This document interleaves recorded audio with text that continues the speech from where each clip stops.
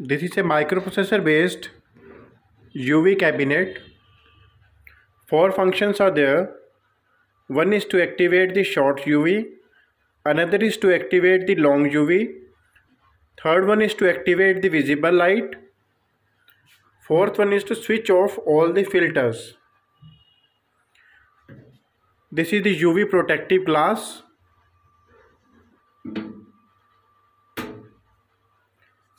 To operate the machine, just switch on the machine. Press short UV filter. The LED glows, that means the short UV activated.